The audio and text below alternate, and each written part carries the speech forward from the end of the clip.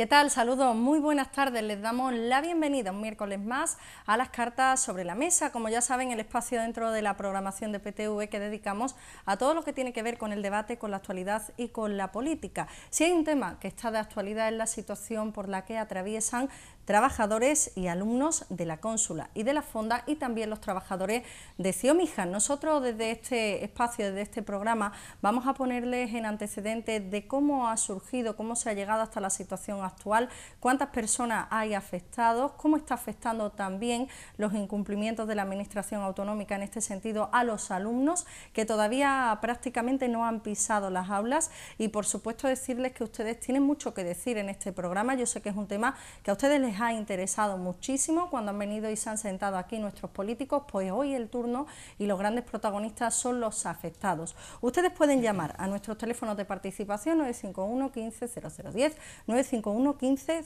0011. Les recuerdo el tema de la tarde, cónsula, fonda y CIO Mijas. Bueno, sin más voy a pasar a presentarles algunos de nuestros invitados que nos acompañan esta tarde. Por parte de la cónsula contamos con Isabel García, profesora de sala de servicio de esta Escuela de Hostelería. Muy buenas tardes. Hola, buenas tardes. Bueno, pues también contamos con un alumno de la cónsula, en concreto Andrés Vale, que es eh, alumno de segundo de sala de la cónsula. Muy buenas tardes. Hola, buenas tardes. Por supuesto, también tenemos representación del CIO Mijas. Eh, vamos a ponerles a ustedes en situación, que es lo que afecta, porque tiene un régimen diferente al de la cónsula y al de la fonda. En CIO Mijas no hay alumnos. Enseguida también estableceremos cuál es la situación a la que se enfrentan estos trabajadores. Contamos con la presencia de Elio Zorrat, representante de los trabajadores del CIO Mijas y también técnico de mantenimiento. Muy buenas tardes. Buenas tardes, ¿qué tal? Muy bien, bueno, pues vamos a continuar, vamos a continuar presentando a más invitados porque también tenemos representación de la Fonda. Antonio Ruiz, profesor, eh, segundo jefe de cocina, la Fonda, muy buenas tardes. Muy buenas tardes. Y también contamos bueno, pues con un alumno, con un alumno de esta escuela, en concreto con Cristian Rafael Zorrilla, alumno de primer año de cocina. Muy buenas tardes. Buenas tardes. Bueno, pues de manos de profesores, de manos de alumnos, vamos a intentar establecer algunas conclusiones, sobre todo también el testimonio de los alumnos nos va a ser muy interesante para ver cómo está la situación en estos momentos en ambas escuelas de hostelería respecto a la formación. Mientras que nuestros invitados van entrando en materia, van recordando algunos aspectos fundamentales de este conflicto, eso sí, nosotros vamos a recordarles, bueno, pues algo muy importante, muy importante para ustedes y muy importante también para nuestra empresa. Y es que, como ya saben, desde hace prácticamente un año, nuestra compañía PTV Telecom oferta, además de sus tradicionales servicios de telefonía fija, de internet y también de televisión, el servicio de telefonía móvil. En concreto, les recomendamos el fantástico terminal que ustedes están viendo en sus pantallas. Se trata del Family H2. Ahora lo ven en directo. Como pueden ver, bueno, pues tiene una pantalla eh, de 5 pulgadas, además en HD.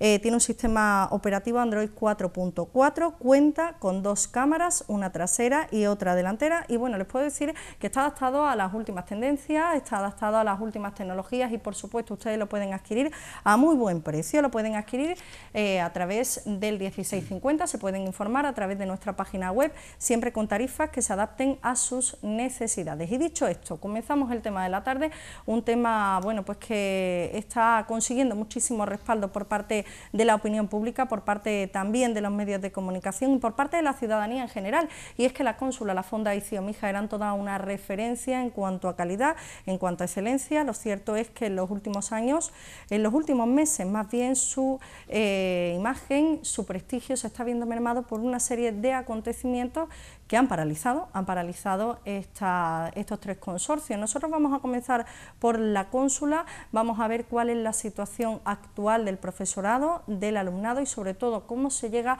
a esta situación. Vamos a comenzar, bueno, pues estableciendo esa prioridad. ¿En qué punto, en qué punto nos encontramos ahora mismo en la cónsula?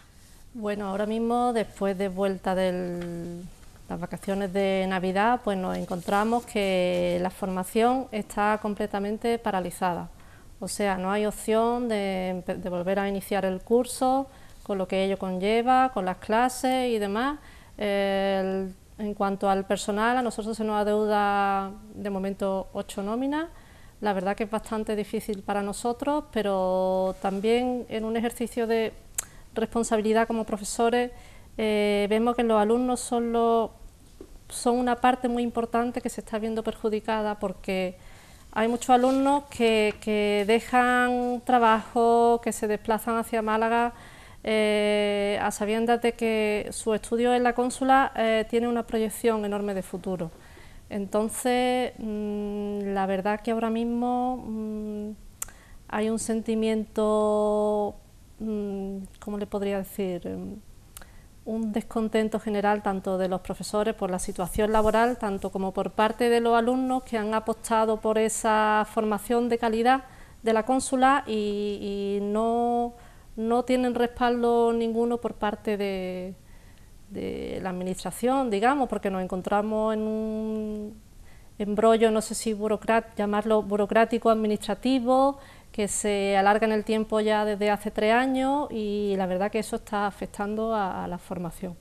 Estamos viendo en estos momentos imágenes de la cónsula, una escuela bueno pues de reconocido prestigio, todo un referente a nivel no solamente nacional sino internacional. Hay que recordar que de esos fogones, de esas cocinas, de esas aulas han salido eh, auténticos artistas de la cocina. Tenemos estrellas Michelin, algunas de ellas bueno pues son de Málaga y han salido precisamente de esa escuela. Isabel en su día también fue alumna al igual eh, que el profesor de la Fonda, al igual que Antonio Ruiz, el profesor que nos acompaña esta tarde.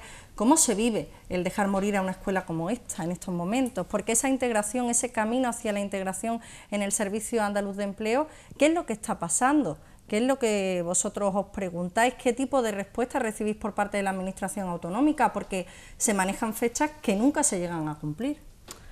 Bueno, realmente la verdad que, yo creo que no logramos, no logramos entender eh, la, razón exacta. Pensamos que esto se ha dilatado en el tiempo eh, o bien yo lo llamaría más bien una no gestión, no sin gestionar bien, gestionar mal, sino simplemente se ha dejado, en el caso de la cónsula, ha seguido funcionando, ha seguido eh, dando todos los cursos de formación, con todo lo que ello conlleva, de mantener este tipo de centro abierto. Y, bueno, se ha llegado ya a una situación que es que era mm, meramente imposible. Eh, solamente el, tema de, del personal que trabaja allí, que la cónsula fue un proyecto muy novedoso, que tiene ya 23 años, que está más que comprobada su rentabilidad social y los resultados que tiene, pues ha sido el capital humano y el esfuerzo nuestro de todo el personal lo que ha mantenido a flote esta escuela porque en ningún caso ninguno de nosotros queríamos que la, formación de calidad que se venía impartiendo eso se perdiera porque eso es eh, eh, el sino de la cónsula, ¿no? esa formación de calidad que le asegura eh, un futuro a todos estos alumnos. Yo personalmente como alumna de la tercera promoción de los primeros años cuando se veía que la cónsula era como, no sé, un experimento, que no sabía si se iba a funcionar o no, pues ha funcionado y ahí están los resultados.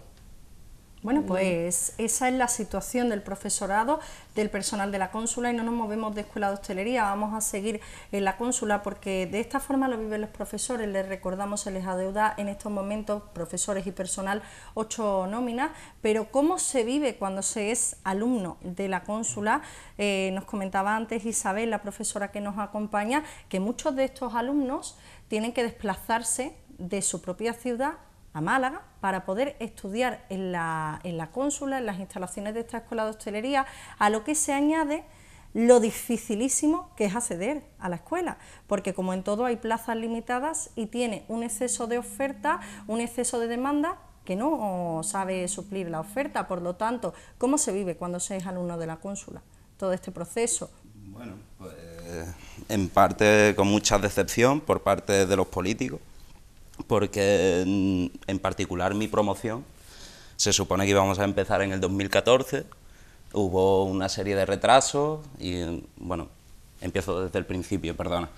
Eh, en mayo se nos convoca para hacer la, prueba de acceso, que es un psicotécnico.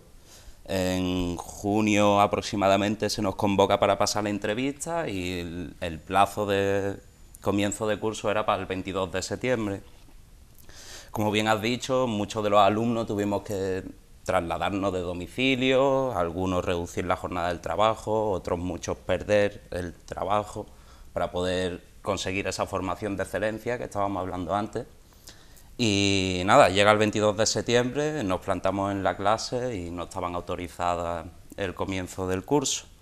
Nos dieron una nueva fecha, que era 22 de octubre, tampoco, y así hasta enero del 2015. Cuando empezamos en el 2015, pues empezamos a medio gas, por así decir, porque empezamos con teoría, pero después la parte práctica era inexistente durante un mes y medio, dos meses. Es decir, que no empezamos eh, con el correcto funcionamiento de la escuela hasta marzo. ¿Qué pasa? Que seguimos así, acabamos el primer curso con relativa normalidad y nada, a la vuelta de vacaciones de verano. Nos encontramos también que al principio a medio gas, después se nos abre el restaurante, después volvemos a cerrar y como siempre los políticos dando fechas nuevas para que se regularice todo y demás y como siempre sin cumplir. Han dado una nueva fecha que es el 1 de febrero que se supone que tiene que estar todo regularizado, yo por mi parte ya mi credibilidad se ha visto dañificada, o sea, yo ya no, no sé si creerme todo eso. Hasta que no lo vea, hasta que no nos digan a todos, a ellos por su parte, que empiecen a cobrar, a pesar de que, como bien ha dicho Isabel, llevan todo este tiempo de retraso de nómina cumpliendo con su función y además no cumpliendo por cumplir, sino además que se demuestra que les gusta y que están ahí porque son capaces y tienen amor a su profesión y eso nos lo transmiten a nosotros. Yo creo que el 90% de los alumnos que estamos ahí es por vocación y porque verdaderamente queremos y amamos la profesión que elegimos. Y todo esto pues se ve dañificado no pues por eso, por políticos que no cumplen su palabra, digamos, o, si, o burocracia que no, no llega a su fin. No sé, mm, bueno, pues como nos comentaba el alumno de la cónsula, vamos a intentar ver o establecer alguna conclusión del por qué se ha llegado a este momento, por qué se ha llegado a este punto. Enseguida vamos a conocer el problema que afecta a Ciomija y a la fonda, pero antes tenemos una llamada de teléfono. Hola, ¿qué tal? Muy buenas tardes. buenas tardes. Buenas tardes, ¿con quién hablamos? Con Claudio. Claudio, bienvenido. ¿Qué nos quería comentar? Pues mira, yo estuve el lunes en la plaza yo era el que llevaba el cartelito que decía, papá, tengo hambre, mi papá no cobra, trabaja la cónsula, Susana no paga. Ese cartelito lo, llevaba yo. Yo lo que quiero decir es que eso no es de ahora, eso hace ya dos o tres años, cuando había un desfalco que algunos se llevó cuatro millones de euros, que eso ahí no lo habéis dicho. Ahí uno se llevó la pasta, no sabemos quién es, se está investigando. Eh, la, lo que yo no me explico es cómo los sindicatos o han dejado de la mano. Porque yo creo que ahí habrá sindicatos, habrá representantes de, los sindicatos. Lo que yo vi el lunes es que Comisiones Obreras hizo su campaña electoral a costa vuestra. La hizo o han defendido antes, han estado en la puerta de allí de la consola todos los días apoyando a ustedes. No, han aprovechado las circunstancias. ¿Por qué? Porque UGT y Comisión Obrera ya no están juntos, uno del Partido Socialista y otro del Partido Comunista, y os están engañando los sindicatos a ustedes, o es que no os dais cuenta. Los representantes de los sindicatos van a hacer su papel de querer, uh, ¿por qué no fue, por qué no fue UGT? ¿Por qué fue nada más que Comisión Obrera?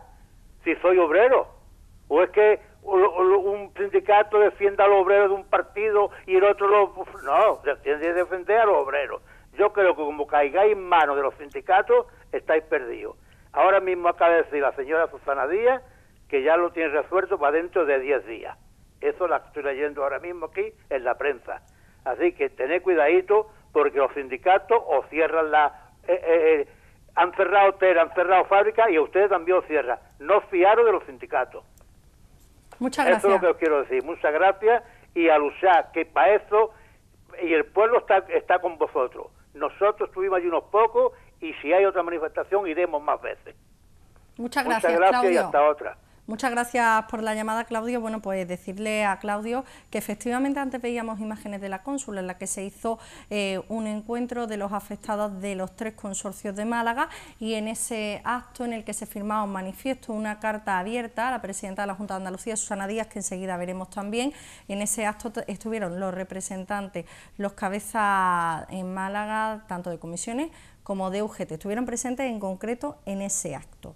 Claudio se refería al acto del lunes, tendremos tiempo de hablar más adelante, ahora llega el turno de Ciomijas, vamos a conocer eh, para situar a nuestros espectadores, en concreto Ciomijas eh, tiene un régimen diferente al que tiene la Fonda en la Cónsula, ahí no hay alumnos, por lo tanto vamos a empezar, eh, si le parece a nuestro invitado, situando a nuestros espectadores en cuál es la función de Ciomijas, a qué se dedica, qué hace, qué diferencias mantiene sobre todo con Cónsula Hola, bueno, realmente eh, no es que sea distinta. Eh, el consorcio de Mija pertenece a la Junta de Andalucía y al Ayuntamiento de Mija, a un 80 y un 20%. Pertenece a la red de consorcios de Andalucía, o sea que nosotros nunca hemos estado fuera de lo que es la red de consorcios. ¿Qué ocurre? Que la particularidad que tiene el CIO Mija es que es un centro donde hay un hotel escuela, hay un hotel de 60 habitaciones abierto al público, eh, una residencia de 116 alumnos, un sitio donde hay que estar 365 días al año y 24 horas. ¿eh? El resto de escuelas no tienen esta particularidad. Entonces, en 2003 que se inaugura, eh, se decide que se va a hacer una gestión mixta. Se saca a concurso lo que es la explotación del hotel y también se saca a concurso lo que es la formación. Entonces, durante estos 10 años ha habido una empresa que es la que ha estado dando los cursos, cuyo eh, contrato finalizaba el 19 de diciembre de 2014. En CIOMIJA ha habido alumnos, se han estado formando, en estos 10 años de formación se han dado 2.500 alumnos, han hecho cursos eh, y se han tenido un, 80, cerca de un 80 o un 100% de, de mm, inserción, laboral. Eh, después cursos de perfeccionamiento, han pasado cerca de 8.000 o 10.000 personas, o sea, ¿qué cursos sí ha habido? ¿Qué ocurre? Que sí tenemos esa particularidad, que la parte pública, digamos, somos solo seis trabajadores entonces, cuando ha finalizado el contrato con la entidad gestora, eh, digamos que la Junta de Andalucía no ha seguido eh, mm, llevar eso con una continuidad, sino que se ha paralizado. Se ha paralizado y ahora mismo pues, nos encontramos con un centro que ha costado 27 millones de euros ¿eh? en inversión, donde están seis trabajadores que pertenecen a la parte pública, al consorcio, Junta de Andalucía y Ayuntamiento de Mija, que nos deben 17 nóminas y el centro cerrado cortaron la luz, cortaron el agua y ahora mismo le hemos preguntado tanto al director general como al delegado del gobierno que qué va a pasar, que qué proyecto hay y no saben decirnos qué va a pasar. O sea que ahora mismo mm, estamos en el limbo, no administrativo, estamos en el limbo y en una situación desesperante. Bueno, pues vamos a conocer la situación de la fonda, pero antes tenemos una nueva llamada de teléfono. Hola, ¿qué tal? Muy buenas tardes. Hola, buenas tardes. Buenas tardes, ¿con quién hablamos? Eh, Rafael, ante todo, apoyar a los compañeros de, formación y de la docencia de hostelería y del CIOMIJA. Comparto con ellos eh, esa incertidumbre, porque por desgracia todo es consecuencia de una deriva, de un naufragio, del naufragio de un sistema social, laboral, de formación y por desgracia estamos viviendo pues los coletazos de un fin de un ciclo, del modo de trabajar, del modo de enseñar, del modo de formar y esto es fiel reflejo. Este laboratorio de tres centros de formación, de inserción laboral, es fiel reflejo de un sistema que está moribundo, corrompido y podrido por dentro. Pues mi lucha es buena vuelta también, que quiero que, que ya de una vez por todas esa palabra dada se cumpla. Porque si no cumplen con lo que se promete, esto tiene un nombre, traición. Y ojalá de una vez por todas esa fecha, 1 de febrero, no sea otro plazo más. Eh, os he visto por las calles por estar, eh, sois ruidosos y, y os apoyo. Hace mucho ruido, porque por desgracia hay que, hay que manifestarse para conseguir las cosas. Y qué lástima que, que estas costas del sol, que hemos sido potencia en récords, en, en visitantes, tenga estas escuelas y estos centros de mija eh, tan, tan, tan eh, dejados de la mano de Dios. Eh, también aquí tiene mucha culpa los ayuntamientos y la y esta central, Ahora el Estado no hay Estado, porque está todo interino. Pero me gustaría que todos los políticos bregaran y lucharan, aparte de la Junta, que también es cómplice y culpable. Pues nada, desearos todo lo mejor, compañeros, y os he visto por las calles y comparto vuestra lucha. Muchas gracias, Rafael, por la llamada. Ahora sí, ya nos vamos a adentrar en el caso concreto de la fonda. Antes nos comentaba la representante de la cónsula que llevan ocho nóminas sin cobrar. En el caso de los seis trabajadores que dependen de la parte pública de Ciomija, 17 nóminas sin cobrar. Y ustedes en su casa se pueden plantear ¿Cómo se puede vivir cuando se está con 17 nóminas, con 8 nóminas sin ser percibida? En este caso, bueno, pues manejamos esa fecha en el horizonte, esa nueva promesa autonómica del día 1 de febrero. ¿Cómo se está viviendo la situación en la fonda? Pues bueno, estamos en la misma tesitura que, que la cónsula. La única diferencia es que el año pasado sí es verdad que nosotros tampoco abrimos el curso. De hecho, él es un alumno de primero, pero realmente tenemos tenemos también los alumnos de segundo que ya empezaron mal, medio año mal, y este año ni han empezado. ¿Qué calidad educativa pueden tener estos alumnos? Por ejemplo, los de segundo, ya han pasado a segundo, mm. pero todavía no han hecho primero. Claro, pero es que los de segundo año empezaron hace dos años ya mal. El año pasado no se les dio el curso, tienen que terminarlo todavía. Entonces, mm, sí, se les puede, claro que se les va a dar clase y se le puede dar un curso, pero evidentemente no, no va a ser tan completo como los que hemos hecho hasta la fecha. Aún así, todavía hay tiempo. Aparte, la particularidad de estos cursos es que es un 80% que es práctico. De ahí también es en parte el éxito de, estos cursos. Y de, en parte es por eso por lo que quieren muchos, o la gente por lo menos se pelea por tener alumnos de las dos, bueno, las dos y de las tres escuelas, porque también en el CION sale mucha gente también, muchos alumnos, y todo es muy preparado. La verdad es que no se entiende la situación. No se entiende y bueno, esperemos que de una vez ya, pues si realmente cumplan una fecha, como estamos diciendo. Entonces, no sé... Bueno, pues si, no, si no se entiende la situación desde el punto de vista del profesorado, menos se entiende aún desde el alumnado. Antes hemos escuchado a Andrés, que era alumno de la cónsula, ahora vamos a escuchar el testimonio de Cristian, que es muy esclarecedor, porque además él, él, es alumno de primer año. Por lo tanto, bueno, pues prácticamente ha puesto un pie en la escuela, ha puesto un pie en la fonda para prácticamente no hacer nada y estamos ya eh, casi en el mes de febrero. ¿Cómo es la situación que viví? ¿Cómo es el clima que se respira entre los compañeros? Pues un poquito desesperante porque nos encontramos con ganas, con motivación de querer aprender, de querer eh, buscar un oficio como es la cocina, en mi caso, y nos sentimos como que nunca se va a acabar este trámite que está haciendo la Junta de Andalucía. Nos sentimos engañados porque este señor Manuel García no ha dado fechas y las vuelve a cambiar y nos vuelve a decir otra cosa y así constantemente. Eh, hay muchos alumnos de la escuela también que vienen de otras partes, vienen de Sevilla, de Granada, de Ronda, tienen que hacer un gasto a esos padres sobre estos alumnos para que puedan estudiar, pagar un alquiler, un domicilio y ellos tampoco saben qué va a ocurrir, no saben si dejar el curso y regresar a sus ciudades y bueno, entonces eh, está creando un ambiente un poco desesperante entre todos los alumnos. Bueno, pues a esta lucha de la cónsula, la fonda y el CIO de Mijas se han unido numerosos representantes políticos, numerosos representantes sociales. Vamos a hacer un alto en el camino una vez que ya tenemos la situación para irnos a publicidad y enseguida volvemos pues con más testimonios y sobre todo intentando esclarecer qué ha pasado en los consorcios de Málaga.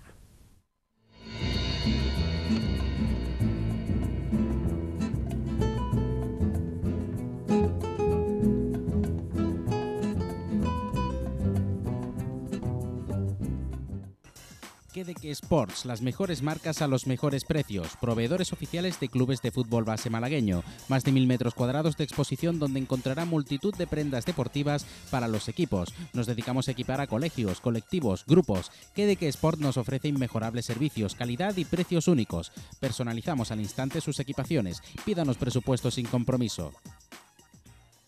33 Festival de Teatro de Málaga. Roberto Álamo y Sergio Peris Mencheta. Ernesto y Malena Alterio, Natalia Millán y Verónica Forqué, Ana Belén, Carmen Elías. Grandes estrenos, comedias, dramas infantiles y musicales.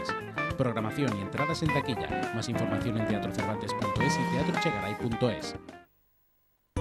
Tú eres turismo. 2015 ha sido el mejor año turístico de la historia para la Costa del Sol.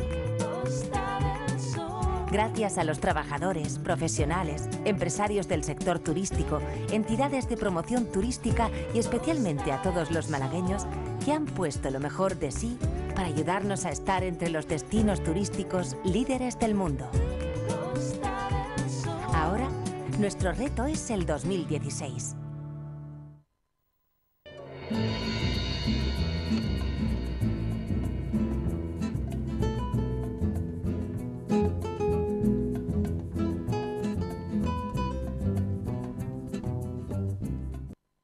Al inicio del programa, cuando han visto ustedes imágenes de la cónsula, veían también a numerosos representantes políticos, sindicales, sociales y asociativos apoyando a estos trabajadores en una convocatoria conjunta que hicieron en las instalaciones de la Escuela de Hostelería de Churriana. En concreto, bueno, pues vamos a conocer las declaraciones del resto de grupos políticos, excepto el Partido Socialista, que ha acudido a esta movilización y que han acudido, bueno, pues a esta serie de reivindicaciones. En concreto, escuchamos a la parlamentaria andaluza Esperanza Oña, que se erigió prácticamente en portavoz de todos los grupos que había representados, que eran Izquierda Unida, que era Ciudadanos y que también, bueno, pues era el Partido Popular y también una representación de Podemos. Vamos a escucharla y es que los distintos grupos parlamentarios, además de haber registrado numerosas iniciativas, numerosas iniciativas durante todo este tiempo, consideramos que es el momento de dar un paso más en nuestra reivindicación porque hasta ahora ha habido un, incumplimiento continuo de todos los compromisos del Gobierno de Andalucía, se ha engañado sistemáticamente a todos los alumnos, a todos los profesores, a los proveedores, incluso se han retenido eh, pagos, cuotas de la seguridad social. Es decir, que la gestión del Partido Socialista en el Gobierno andaluz respecto a las escuelas de hostelería de Málaga no ha podido ser más incompetente ni más perjudicial. Baste decir que las tres escuelas públicas de hostelería que tenemos en Málaga tienen un elevadísimo prestigio y, sin embargo, no han entrado en el SAE cuando han entrado todas las demás, las demás escuelas que no tienen actividad. Es decir, que las de Málaga que sí tienen actividad, que tienen restaurantes ahora cerrados desgraciadamente, pero los tenían abiertos, que tenían prestigio sobrado con varias estrellas Michelin, como todos sabemos, y que tenemos 200 personas que se están perjudicando aproximadamente entre profesores, alumnos, proveedores etcétera, ¿verdad? Pero todas estas, estas, estas escuelas que, como digo, tienen proyectos formativos en curso, que tienen restaurantes, que tienen prestigio, que tienen un gran alumnado, numeroso alumnado y lista de espera, son las que no han entrado en el SAE. Han entrado las que no son productivas, las que no tienen actividad, las que no le generan problema a la Junta de Andalucía. Estas que generan el problema de tener que pagar a proveedores, de tener que pagar la actividad diaria, esas son las que se retienen sin que entren en el SAE y por tanto tenemos esta situación. Y últimamente lo que ya ha sido llenar el vaso, ¿verdad? Es que le piden a los profesores, al personal, que trabajen sin cobrar. Eso es lo que ha pedido el Gobierno de la Junta de Andalucía. Que trabajen sin cobrar y a los alumnos les quitan su derecho a la educación. Es decir, los alumnos no pueden continuar estudiando a pesar de que fue el propio gobierno andaluz el que dijo que empezaba el curso tanto en la fonda como en la cónsula. Con todas las alertas, porque todos les dijimos, pero van ustedes a pagar, lo dijimos en el Parlamento por activa y por, pasiva. Y yo sé que tanto la cónsula como la fonda, como el CIO de Mijas también estaban pues absolutamente escépticos respecto a la continuidad de los cursos. Lo cierto que ante esta situación no, no caben ya ni, ni más confianza, ni más credibilidad, ni más esperar a ver si, como ahora se han inventado una nueva fecha, ¿no? a finales de enero, hoy nos, sorprenden con que a finales de enero por fin ya se podrá funcionar con toda normalidad. Bueno, pues es difícil de creer. Ojalá que ocurra, pero es difícil de creer. Mm. Y después otra cosa que tenemos que decir sin, sin, sin ningún tipo de pereza, ¿verdad? Es que siempre, siempre, o sea, despreciadas las tres escuelas, pero siempre hay una que ni siquiera se menciona, el CIO de Mijas. Aquí estamos por la cónsula, por la fonda, por el CIO de Mijas. Estamos por las tres escuelas públicas de hostelería de la provincia de Málaga. Estamos por, por un alumnado que merece formarse y tiene todo el derecho y por unos trabajadores que tienen, por supuesto, que realizarse y cobrar Bueno, palabras muy interesantes, la de la parlamentaria andaluza Esperanza Oña, decirles que no tenemos las palabras del resto de representantes del grupo porque prácticamente fue Oña la que se erigió en portavoz de todos ellos. Bueno, pues algunas cuestiones interesantes. ¿Por qué se han integrado el resto de escuelas en el SAE y las tres de Málaga no? Y por otra parte, esas declaraciones que se hicieron de que los profesores trabajarán sin cobrar, no sé cómo se viven. Bueno, para ser exactos, realmente eh, que trabajáramos sin cobrar, pues realmente no se propuso así. Eh, la situación real es que eh, la consola dispone de menos 29 euros en su cuenta corriente. Entonces, se nos planteaba, bueno, ¿por qué se ha paralizado la formación? Es que realmente un centro de estos con una formación eminentemente práctica, dígame usted cómo se puede poner en funcionamiento cuando no es a base del crédito, también hablamos de los proveedores, que es una deuda importante porque este problema ya eh, eh, se ha alargado durante tres años. Imagínese usted un centro de estas características funcionando durante tres años. Hay una deuda ahí también importante y bueno, ¿cómo pone en marcha toda esta maquinaria con menos 23 euros? Bueno, y no sé cómo... Y dentro de esas palabras, dentro de esas declaraciones, algo muy importante, ese guiño especial y específico al CIO Mija, donde sus trabajadores, bueno, pues se sienten que son los grandes olvidados en muchos casos en este conflicto. En este caso, bueno, pues los trabajadores no es que trabajen sin cobrar, es que se les adeuda 17 nóminas. Es decir, una situación muy complicada, muy difícil. ¿Por qué creéis que han entrado el resto de escuelas de hostelería y no han entrado las vuestras? Bueno, como te comentaba antes, yo creo que el problema ha sido eso, que la Junta de Andalucía, como tenía una empresa que era la que ha gestionado la formación y el hotel, etcétera, etcétera, y el contrato finalizaba en diciembre de este mes, de este año, pues eh, se han olvidado. Se han olvidado porque tenían cubierto el que esta empresa era la que mantenía el centro, era la que mantenía, porque por contrato hasta el día 19 tenían que mantener el centro. Entonces se han despistado ¿Qué pasa? Que se lo veníamos advirtiendo, desde el 19 de mayo se nombran unos liquidadores para hacer el mismo procedimiento que hay que hacer con el resto de las escuelas. ¿eh? El hacer un balance de liquidación, activo, pasivo, para el paso al SAE. Con nosotros no se ha empezado. Y como no se ha empezado, pues cada vez más lejos, más lejos. Y no sabemos. Ahora cuando hemos hablado con el director general, dice que sí, que se van a empezar los trámites, pero nunca se empiezan. Y nos dan una fecha de que puede tardar entre 8 meses, un año.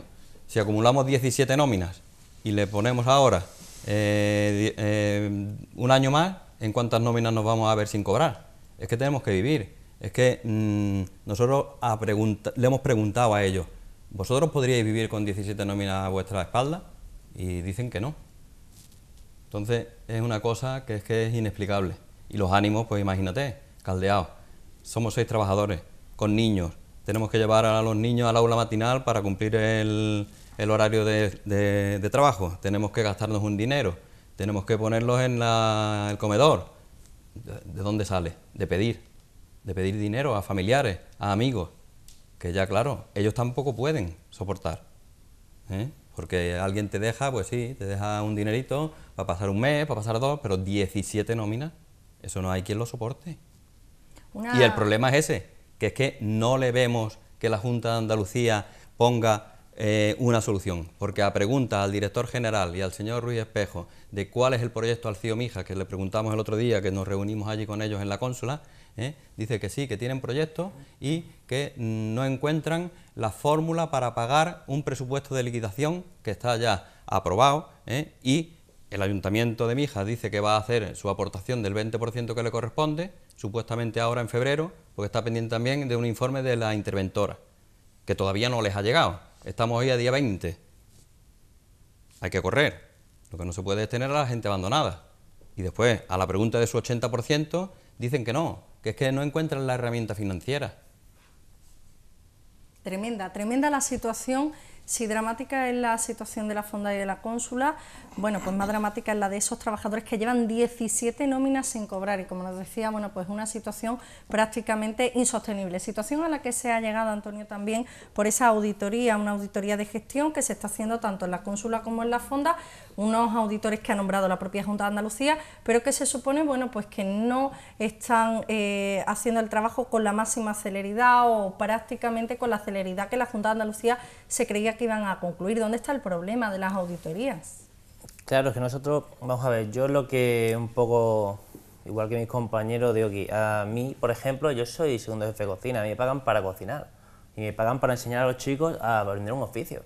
A mí no pagan para hacer papeles, ni para hacer gestiones de este tipo, ni nada. Entonces los trabajadores, quiera que no, es lo que no comprendemos, no, estamos ahí un poco perdidos. Aparte, pues se nos dan unas presiones muchas veces muy contradictorias entre uno y otro. Entonces estamos ahora mismo, queremos creer, hombre, que, que realmente sí, oye, que hay buena fe, que se va a llegar a un fin, y bueno, pero nosotros, yo particularmente, ya le digo, yo ahí me pierdo, o sea, que yo soy igual que mis compañeros, yo soy profesor de cocina, yo no sé, no entiendo de gestiones, tampoco entiendo un poco cuando dicen, no tenemos el mecanismo financiero, mm, oigan, perdonen, es la empresa, es vuestra empresa la que, la que está pagando, ¿de dónde sale el dinero? Entonces, la verdad que nos vemos un poquito, un poquito perdidos. Yo, por lo menos, mi, mi opinión particular, la verdad. ¿Cómo, se ve, ¿Cómo se ve desde fuera este asunto cuando, bueno, pues se es alumno, en este caso, de la cónsula y de la fonda? ¿Cómo se ve el tema? Pues engañado constantemente. Eh, el señor Manuel García, repito otra vez, que nos dijo que la auditoría se había comenzado antes de las, antes de las vacaciones navidades regresamos de las vacaciones de Navidad y nos enteramos de que no se había iniciado. Entonces eh, es una mentira tras otra y se ve desde fuera pues con todos los alumnos desesperados, eh, desilusionados y cada vez con, menos ganas prácticamente. Yo incluso he pensado de dejar el curso.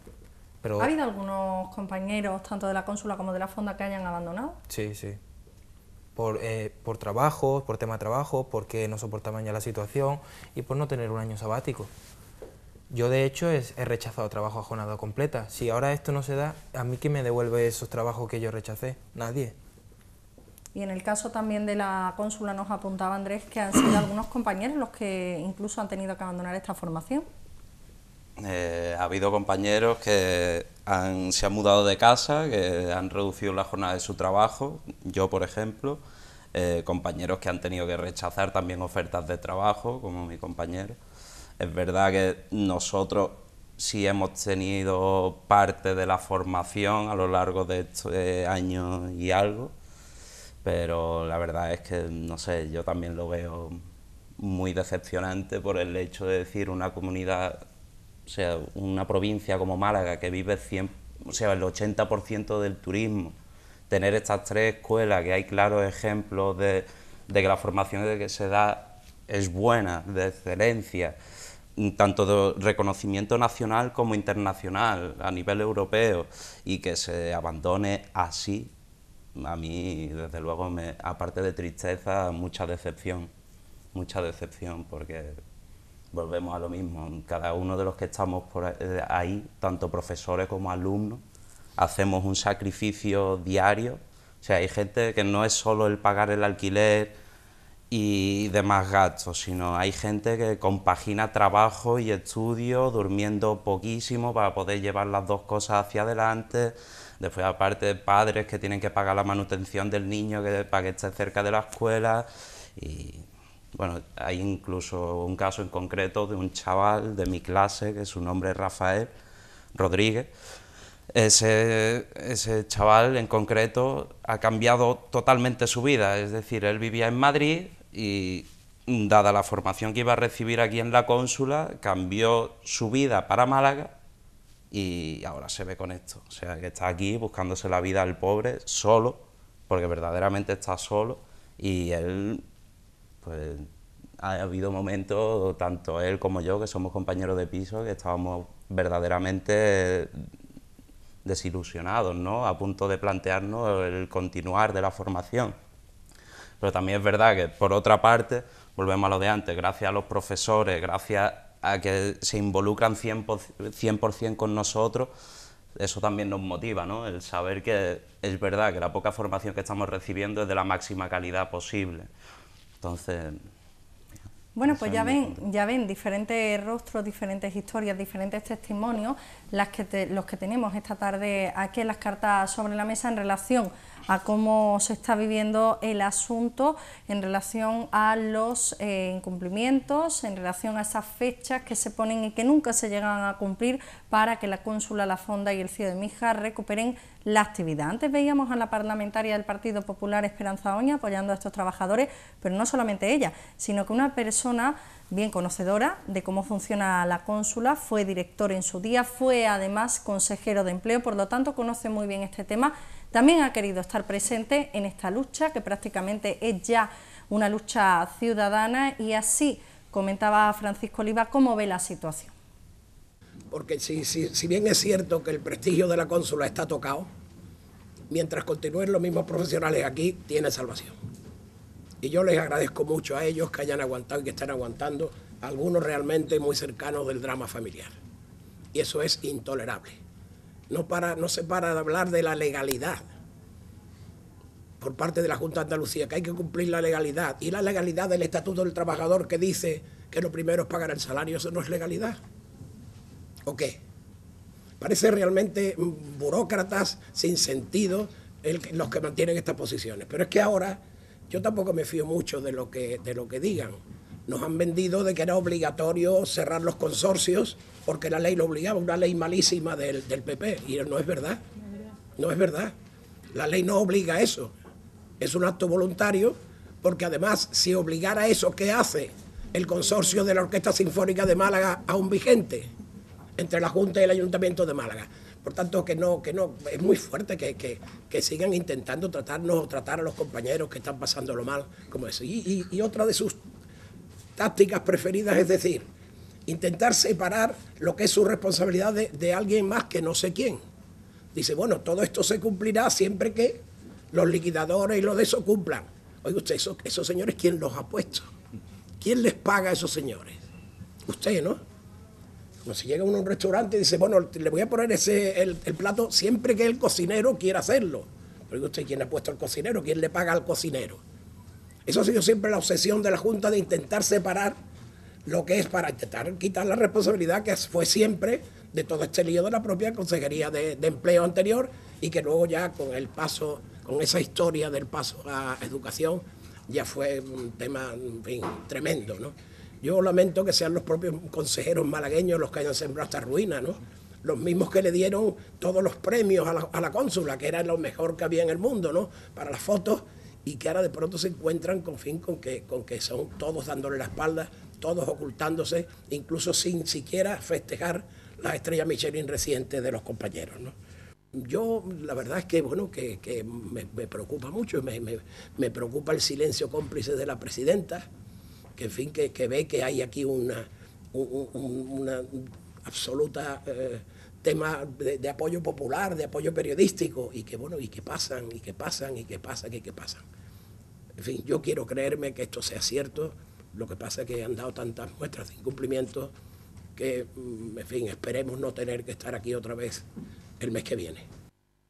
Pues numerosas reacciones, en este caso de un exconsejero de empleo de la Junta de Andalucía, eh, director en su día de la Consul, uno de los precursores, uno de los primeros que apostó y creyó en este modelo y sobre todo en este tipo de formación. Ahí estaban las declaraciones de Francisco Oliva, pero como les decía, prácticamente la lucha de la cónsula, de la Fonda y del CIO de Mija se ha convertido en una lucha ciudadana. Prueba de ello es la manifestación del pasado lunes por las calles de Málaga, a la que acudieron, bueno, pues numerosos representantes, como les decía, no solamente de la política, sino también numerosos representantes ciudadanos del tejido asociativo. Estamos viendo en estos momentos imágenes del pasado lunes de la Plaza de la Constitución, lugar de encuentro, lugar de concentración, lugar de manifestación para pedir y para exigir a la Junta de Andalucía que aclare de una vez por todas en qué situación están y sobre todo que se recupere esa normalidad, esa ansiada normalidad que tiene. Les recuerdo que desde la Junta de Andalucía se ha aludido a problemas con esa auditoría, de ahí que las fechas se hayan ido modificando y no se hayan ido cumpliendo a la hora de decir cuándo iban a abrir.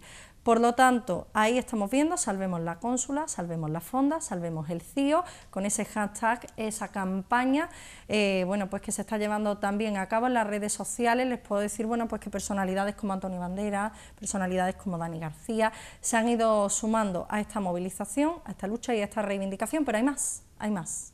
Por lo tanto, bueno, pues me gustaría que me contaréis qué sigue, cuáles son los próximos calendarios de movilizaciones y de protestas. Bueno, la próxima protesta será el día 1 de febrero, donde estaremos apoyados también por todos los partidos políticos y esperamos, la verdad, hombre, que seguir teniendo el apoyo y el cariño de todos los ciudadanos, la verdad, porque gracias a ellos y sin ellos esto no, no es posible, ¿no? Entonces nos gustaría pues eso, seguir hasta que a ver si de, una, de una vez, por no decir otra cosa, pues bueno, pues realmente esto se, se soluciona, la verdad.